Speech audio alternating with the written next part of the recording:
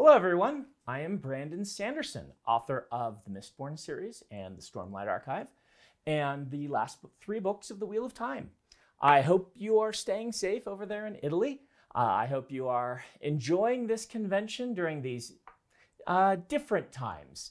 I have enjoyed being able to be a guest at a lot of different conventions that I maybe wouldn't have been able to make otherwise. And so this has been kind of fun for me, but at the same time, I don't get to see people. So instead of speaking to a crowd that will respond to me, I'm speaking to a camera. I hope that, however, you will still enjoy this. Um, I appreciate all the enthusiasm I get out of Italy, and I'd like to visit again uh, as soon as it is safe to do so. For now, I'm going to talk to you a little bit about something. They asked me to, uh, to prepare a few words uh, for the convention and give a guest of honor speech. And something I've been thinking about a lot lately is geek or nerd culture and how it's becoming very mainstream, right? When I grew up, no one had read fantasy books but my most close group of friends. And these days, we have things like the Marvel Cinematic Universe, and we have things like you know the uh, the new Lord of the Rings adaptation coming up, and uh, a lot of the culture that was very um, small scale, uh, limited to a few people when I was growing up, has exploded, and this has been a great thing. Um, but there's also some challenges that come along with it. To explain this, I want to talk to you a little bit about how I became a fantasy writer. Uh, I discovered writing because of a teacher I had when I was in the eighth grade. And she gave me a book to read. I'll talk a little bit more about that specific book later. But it was, uh, it was a transformative time for me. I read this fantasy novel, and my entire outlook on the world changed. I found something that really felt like me. I connected with this story and this type of story in a way I never had before. Um, and it uh, was what made me want to learn to be a writer. Um, you could say that I was a fantasy nerd in embryo who did not yet know. Uh, and so I really am thankful for that teacher. And another thing that was really foundational during this time, and um, maybe uh, will be reminiscent to many of you of something that happened in your life, is I discovered my local comic book shop. It's called Cosmic Comics in Lincoln, Nebraska. Nebraska is like right smack dab in the middle of the United States, uh, kind of the middle of nowhere, though I enjoyed uh, growing up there. And one day I noticed there was this little comic store. It was actually in a strip mall um, that was near a supermarket. It didn't feel like the place that you would normally see a store like this. And I peeked in, and they had everything I could ever want. They had comic books, they had fantasy and science fiction novels only. Didn't have a huge selection of books, but they had all the science fiction and fantasy books, and they had games. Um, and this became like mecca for me. This store is where I fought, bought my first pack of Magic the Gathering cards. This is the store where I bought Eye of the World, the first book of the Wheel of Time, which eventually I would go on to complete. Uh, this is the store where I bought my first issues of Teenage Mutant Ninja Turtles, the old Eastman and Laird comic, which was the first comic book series that I ever got into. Um, it provided everything for me. Um, and beyond that, it provided a community. Uh, one of the things I loved about going to my local comic book shop was that I would find other people there who were like me. And as I said at the start, this was not um, a given during that time that you could find people who were interested in these kinds of pursuits. Uh, it was actually kind of difficult. Um, uh, a lot of my friends in school, this wasn't something they were into, these fantasy novels and things like that. And so uh, being able to go to the store and being able to connect with this crowd and this community, uh, finding role playing groups and discovering role playing games, uh, finding people to just sit down and have a casual game of Magic the Gathering with, finding people to talk, at, talk to about fantasy novels. I mean, this was foundational in my life. And this community I learned to find wherever I went. When I went to college, I found the community Um, and this community at college was putting together a magazine of science fiction and fantasy, of which I joined and was my first experiences in publishing. Kind of what taught me that I could do it, that I could maybe be a writer, was seeing this community together creating a fanzine, essentially, a fan science fiction magazine. And it was, um, it's wonderful that these communities existed uh, in these pre internet days. Um, nowadays, this is becoming a, a major force. Um, and yet, one thing that worries me is that now that things that we love, uh, things that people like myself love, are becoming more and more accepted, some of us, I feel this instinct myself, are responding against that and saying, well, these people aren't true fans. These people are co opting this thing that was part of my identity. Um, and that worries me. It worries me that the thing that we've always wanted, people to appreciate our interests, is happening, and yet sometimes we respond poorly to that. And I include myself in that crowd. Um, something that is useful to understand, at least about me, is that first fantasy novel I read. And I hope that explaining why this book connected with me will help us uh, explore the larger um, story of people coming to love science fiction and fantasy and games and comics and all these wonderful things that were so foundational in my childhood. The book that I was given by that teacher is a book called Dragonsbane. Now, Dragonsbane is a fantastic novel. I would recommend it to anyone. Um, it, I've read it again as an adult and I love it still.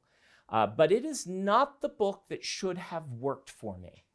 You see, by the normal understandings of what kinds of books you should give to a young man who was, as I was, a reluctant reader, you should probably give them a story about a young man maybe going to wizard school or a young man getting given a magic sword and sent out on a quest. These are the sorts of normal things that you would give to a new reader, particularly one at my age of 13 or 14.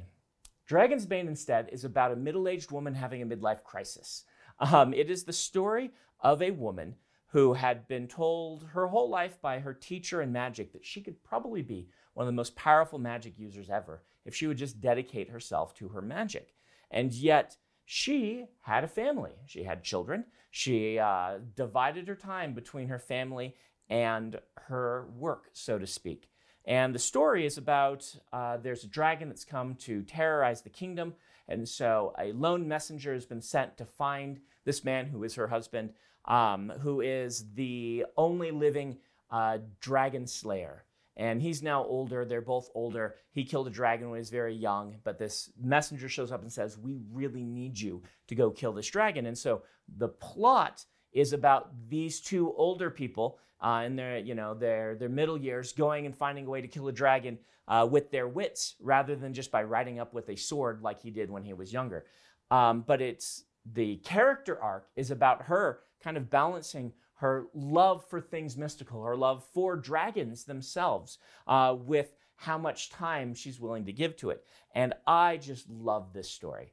It shouldn't have worked by the common understanding of books you give to teenagers, but it did. It was amazing, and it taught me something. You see, during this time in my life, um, my mother had graduated when she was younger, first in her class in accounting, in a year where she was the only woman in most of her accounting classes. Um, she was offered a very prestigious scholarship to go become a CPA, and she actually turned that down. Uh, she was pregnant with me, and she decided while I was young, she wanted to be with me um, in those formative years. And she later went on and had a great career as an accountant. Um, but those early years, she'd given up some very important things for me. Now, as a teenage boy, I, of course, thought, well, of course she did. I am me. Who wouldn't give up a promising career for me? Uh, and I had never quite understood this, so I'm like, of course, that's what you would do. That's what a parent would do for a child.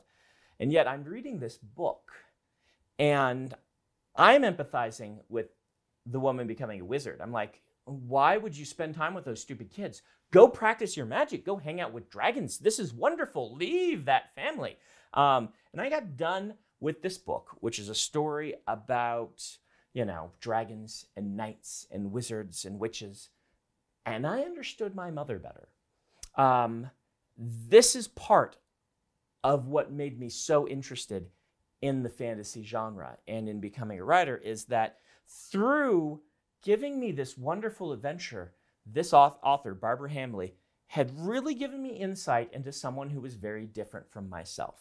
And indeed, I think this is the power of the media that we love in so called nerd culture.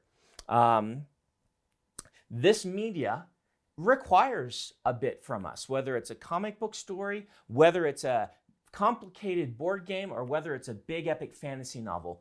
We put a lot of investment into learning how to use these things, learning to play Magic the Gathering, learning to play even a simple uh, board game takes effort, takes work. And that's kind of what we love about it, right?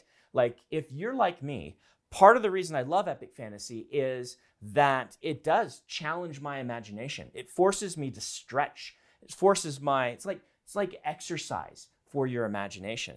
And that is one of the reasons why I love it so much, is because it doesn't coddle me. It expects a lot of me, but then it rewards me. You spend a lot of time invested in learning a world like uh, Westeros or uh, Middle Earth. And then as you read the future books, that work is rewarded. You are now an expert in this world and can read these wonderful stories and experience them. And I think this kind of sometimes accidentally leads us to a little bit of elitism. Um, we, you know, play Magic the Gathering or we play a really complex board game um, and we really get into it. And then when someone else wants to play with it, we say, well, you don't want to do this because it's really hard and it's a lot of work. You don't want to pick up this book series, it's too hard for you.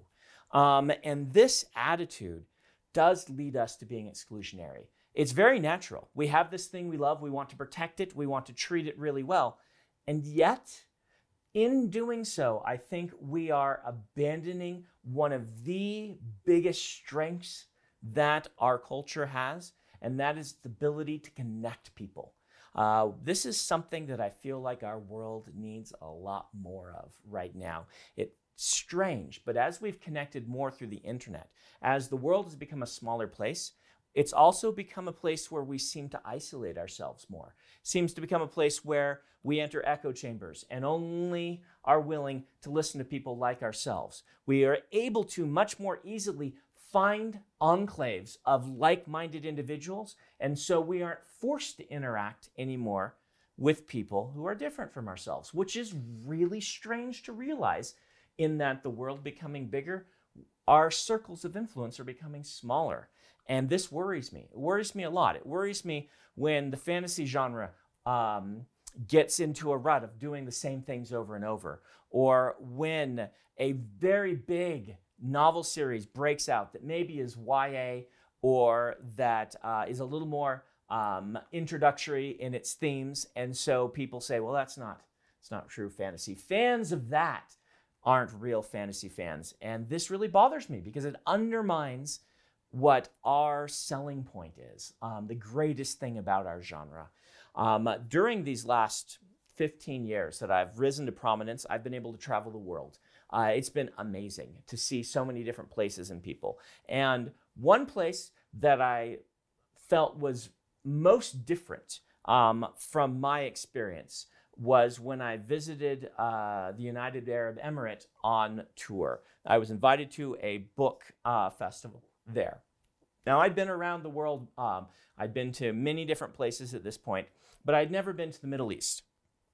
And I was a little worried. I'm like, do people really read my books in the UAE? I'm not published in Arabic. Um, do they really? And I wasn't sure. I wasn't sure if I was going to show up at this place and be, you know, um, this lone author back to the days where nobody showed up to my signings. But I went because I wanted to see this place. Um, and I, I had a wonderful time. And the first day of the conference, I walked in to the place and was led to the place where I was going to do book signing. And there was a line of people in um, uh, Emirati clothing. Uh, the women were veiled, uh, the men were wearing the thob. Uh, you know, different from my experience completely, and they all had big stacks of Brandon Sanderson books. And I sat down, and the first woman in line um, was so excited, and we talked about our favorite Star Trek captains um, and connected over the fact that we both had loved this piece of media. Uh, another woman in line, I remember chatting with her, and she was going to Dubai Comic Con. And if you guys have seen Miyazaki films, she was going to go as No Face, the uh, the character from Spirited Away, which is, I thought, a really perfect um, way to both use this woman's traditional dress and the and the veil, and also be a character from a piece of media that I think is fantastic. Um, and we bonded the, those people in line and myself, and it reinforced to me again how much our media and our love of these things shows that we as human beings are fundamentally down deep the same. We might have different disagreements on, uh, on various surface level things, but deep inside, a good story connects with us because we see ourselves in that story. And so, my challenge to all of us is that we will be a little bit more open uh, to those who want to join our community. When something gets really popular, we will be happy that others are being able to experience a bit of what we love, that we will share our passions, that we will be those experts in the things that we love and let that make us into mentors instead of gatekeepers. And that is my challenge to you. That is my request to the entire community. Uh, thank you so much for reading. Uh, thank you for s- supporting my books uh, as we've done this launch of Rhythm of War in Italy. It's a real challenge to get these Stormlight books translated and out, and the publisher really stepped up. Um, and so, thank you so much. Now, I'm actually going to read a little bit from Rhythm of War uh, the new book that's out. I um, I really like doing readings, and I like finding places in my books where I can uh, I can interpret the characters out loud uh, and things like that. And I thought you all might enjoy hearing from the new book. But one of the things that's happened with this book is we released um, audio editions um, of the first chapters on my YouTube channel just so that people could preview them and things. And so I don't want to read one of those chapters because you can already go, if you really want to, and listen to the audiobooks of those, uh, those chapters. So instead, I'm going to read to you from one of the chapters that comes right after that. Um, this is one of the interludes. It does offer mild spoilers for the uh, other parts of the Stormlight Archive. So if you haven't started the series, you might want to wait. This isn't the biggest spoilers that have ever existed. Um, it's uh, a viewpoint from a side character, uh, but it might be something that you would want to um, wait for. If you are caught up on the Stormlight Archive, um, uh, then this shouldn't uh, spoil anything too much for you, even if you haven't read the fourth book yet. So I'm going to read the second interlude of the Rhythm of War, the fourth book of the Stormlight Archive. Sja-anat had been named Taker of Secrets long ago by a scholar no one remembered. She liked the name. It implied action. She didn't simply hear secrets, she took them. She made them hers, and she kept them. From the other Unmade, from the Fused, and from Odium himself. She flowed through the Kholinar Palace, existing both in the physical and cognitive realms.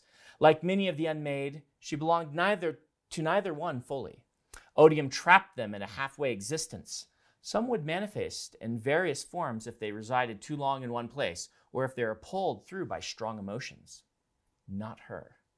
Sometimes fused or even common singers would notice her. They grow stiff, looking over their shoulders. They glimpse a shadow, a brief darkness, quickly missed. Actually seeing her, though, required reflected light. It was similar in Shadesmar. She experienced that realm at the same time as she experienced the physical realm, though both were shadowy to her. She dreamed that somewhere a place existed that was completely right for her and her children. For now, she would live here. She flowed up steps in one realm, but barely moved in the other. Space was not entirely equal between the realms. It wasn't that she had a foot in each realm. More, she was like two entities that shared a mind. In Shadesmar, she floated above the ocean of beads, her essence rippling. In the physical realm, she passed among singers who worked the palace. Sja-anat did not consider herself the most clever of the unmade. Certainly, she was one of the more intelligent, but that was not the same. Some of the unmade, such as Nergaoul, sometimes called the Thrill, were practically mindless, more like emotion spren.